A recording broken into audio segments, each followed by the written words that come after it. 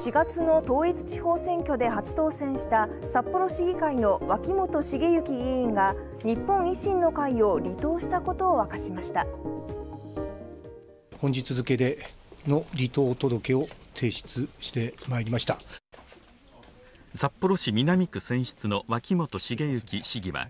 今日午前日本維新の会に離党届を提出し受理されました脇本市議は今年4月の札幌市議選で日本維新の会から出馬し初当選しました。日本維新の会の市議らと作る会派維新第一も離脱するということです。背景にはあの人の影響も。ロシアがあのウクライナに対してですね屈することはない。党に事前の届け出をせずロシアを訪問したことや現地での発言が問題となり日本維新の会を離党した鈴木宗男氏。